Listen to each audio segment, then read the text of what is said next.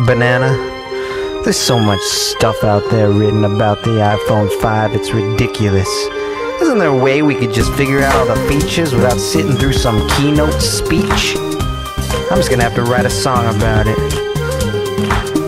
I'm going to explain to you the features on this phone with a musical view on the iPhone, iPhone, iPhone, iPhone 5. Most everything that you need to know, you're gonna learn it here in a minute or so about the iPhone, iPhone, iPhone, iPhone 5. Yes, the screen is bigger, 4 inch retina display. 18% thinner, 20% lighter, visually brighter. You can post Facebook statuses by your voice.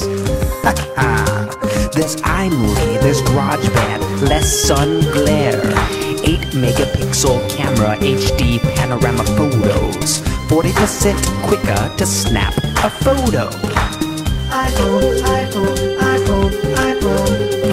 Check it, check it, check it, check it, check it, check it, check it, check it, check it, check it, check it, check it. Check it out, the map feature, Apple's own map technology, easier to follow with a turn-by-turn option.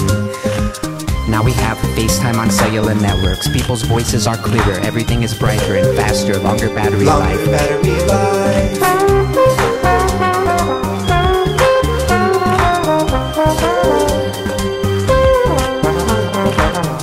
But this technology's always changing, never stays the same. It's crazy.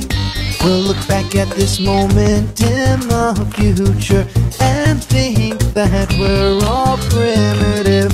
I can't help but wonder where we're headed. Sights embedded in our cranium.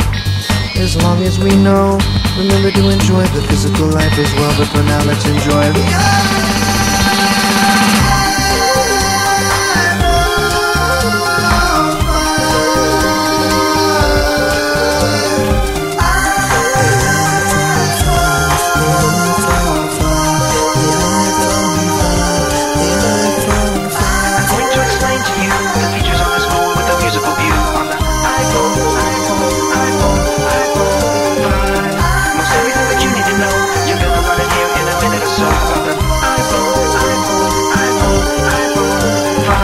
iPhone 5. You've just watched the adventures of Paul the Trombonist. Please subscribe to the channel if you haven't already. There are new videos every single week.